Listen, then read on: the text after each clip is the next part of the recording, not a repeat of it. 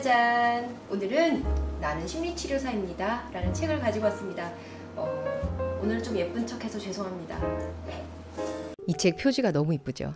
이 책은 어, 메리 파이퍼라는 지금은 나이가 지긋이 드신 노련한 임상심리학 박사가 자신의 그 대학원 제자이자 젊은 심리 치료사인 로라에게 편지를 쓰는 형식으로 저술된 책입니다. 이 책이 미국에서 출간된 지는 꽤 됐는데 우리나라에는 올해 들어왔더라고요. 이 책은 심리 치료사라는 길을 먼저 걸으며 삶을 경험한 스승으로서 자신의 젊은 제자에게 심리 치료사라는 어떤 그런 직업적인 영역 안에서 기술적으로 도와줄 수 있는 그런 슈퍼비전의 내용뿐 아니라 이 직업을 선택함으로 인해서 앞으로의 인생길에서 만날 수 있는 그런 직업과 관련된 여러 굴곡의 위기에서 어떻게 잘 헤쳐나갈 수 있는가에 대해서 본인의 경험과 그리고 또 많은 사례를 들어서 이야기를 전해 주십니다. 비슷한 책으로 예전에 소개시켜 드렸던 어빈 얄롬의 치료의 선물이라는 책도 떠올랐는데요. 메리 파이퍼 박사님은 보다 더 따뜻하고 정감 있는 말투로 경험과 지혜를 아낌없이 쏟아 주시고 계십니다. 보통은 슈퍼바이저가 누구냐에 따라 다르겠지만 supervision 하면 뭔가 평가를 받는 자리고 또 내가 실수를 했거나 부족한 부분을 확인을 받는 자리이기 때문에 때로는 어떤 attack이 나에게 날라올까 이런 긴장이 동반되는 시간이기도 합니다. 근데 이 책을 읽으면은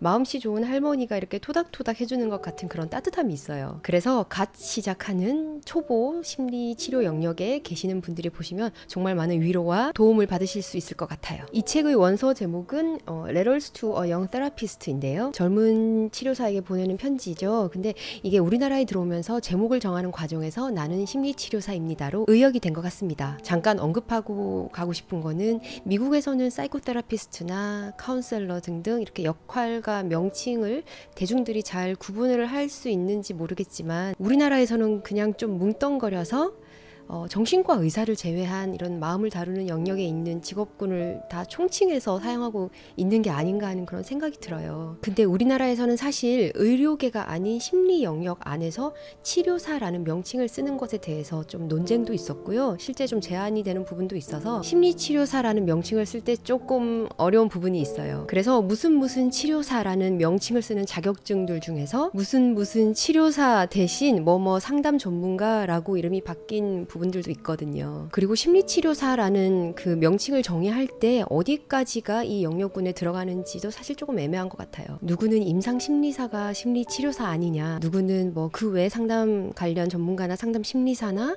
아니면 또 여러 가지 무슨 무슨 테라피스트들이 있잖아요. 놀이치료, 음악치료, 미술치료 뭐 등등등 이런 분야까지 다 포함되는 게 아니냐 여러 의견들이 있으신데 혹시 아시는 분 있으면 좀 알려주세요. 저도 아직 명확하게 잘 모르겠어요. 제일 좋은 거는 명확하게 구 분된 각 분야의 명칭과 역할을 제대로 알고 부르는 게 가장 좋겠죠. 아무튼 뭐, 어, 이 책을 쓰기까지 한 1년 정도 걸리셨다고 해요. 겨울에 처음 쓰기 시작해서 봄, 여름, 가을까지 그렇게 계속 편지를 쓰는 형식을 취하고 있기 때문에 그 챕터도 이렇게 계절별로 나눠져 있습니다. 각 계절마다 느낌이 다르듯이 각 챕터에서 느껴지는 그런 그 작가의 감성도 조금 달라요. 그리고 이분이 인류학도 전공하셨기 때문에 마음의 병을 대하는 그 시선이 한정적이지 않고 굉장히 폭이 넓어요. 그래서 우리가 익숙한 그런 심리 이론을 통한 접근 외에 새로운 관점으로도 바라볼 수 있는 그런 경험을 할 수 있었던 부분도 있었습니다. 그리고 가족 치료와 관련해서 다루는 부분이 있었는데 어, 특히 해결 중심 상담과 이야기 치료적 접근을 많이 하시더라고요. 제가 관심을 가지고 있는 부분이라서 좀 반가웠고 또 이 외에 도 제가 알고 있던 여러 부분에 있어서 통합과 연결을 경험했 있었던 책이었던 것 같아요. 여기 소제목들도 굉장히 어, 궁금증을 불러일으키는데요. 당신의 빵 부스러기는 무엇입니까? 모든 리듬은 서로 속도를 맞춥니다. 우리는 버팀으로써 버팁니다. 가족 치료는 어, 빗방울 사이로 춤을 추는 일입니다. 감정의 날씨, 어, 모두에게 새로운 이야기가 필요합니다. 뭐 등등등. 내용 소개는 한 부분만 좀 짧게 소개를 하고 싶은데요. 마음의 문을 열지 않는 내담자. 이렇게 저항하는 내담자를 만나면 어떻게 하면 좋을까에 대한 부분을 다루셨어요. 속담 하나를 알려주시는데요. 자고 있는 개를 깨울 수는 있지만 자는 척 하고 있는 개는 깨울 수가 없다. 예, 느낌이 오시죠? 궁극적으로 내담자가 마음의 문을 열지 않기로 작정을 하면 우리가 강제로 열게 할 수는 없다라는 거죠. 여기에 대해서 메리 파이퍼 박사님은 이제 이렇게 이야기를 하셨어요. 내담자는 더 나아지기를 바라는 마음에 찾아왔지만 동시에 변화를 두려워하기도 합니다. 특히 심리치료 현장이라는 뭔가 한정된 시간 안에 변화가 촉구되는 상황에서는 더 그렇지요. 변화 저 너머에 어떤 일이 일어날지 모르는 불확실성보다는 그냥 내가 문제를 안고 있는 것이 차라리 낫다고 생각합니다. 조금 다르기는 하지만 예를 하나 들어보자면 주지화라는 심리 용어가 있어요. 감정으로부터 자신을 분리시키고 오직 이성과 논리 그리고 합리적이고 지적인 분석만을 통해서 문제에 대처하고자 하는 방어 기제의 일종인데요. 이런 내담자는 자신의 문제를 상담자보다 더 잘 분석해낼 수도 있어요. 그리고 감정을 철저하게 분리시켰기 때문에 아무리 어마어마한 트라우마적 사건을 겪었다고 하더라도 눈물 한 방울 안 흘릴 수 있습니다. 우리는 이분의 정서를 다루기 위해서 저 깊은 곳에 철커덕 닫혀버린 감정의 문을 열어야 하는데요. 오랜 시간 이성으로 무장된 그 커다란 자물쇠로 꽁꽁 잠겨 있는 그 깊은 심연의 문을 쉽게 열 수가 있을까요? 초짜 상담사는 그 마음의 문을 열기 위해 쫓아가다가 오히려 더 도망가는 내담자를 만날 수도 있을 거예요. 이렇게 저항하는 내담자를 쫓아가서 그 저항을 멈추게 하실 수 있나요? 메리 파이퍼 박사님은 어, 저항이라는 이름으로 흐르고 있는 강물을 우리가 멈추게 할 수는 없습니다.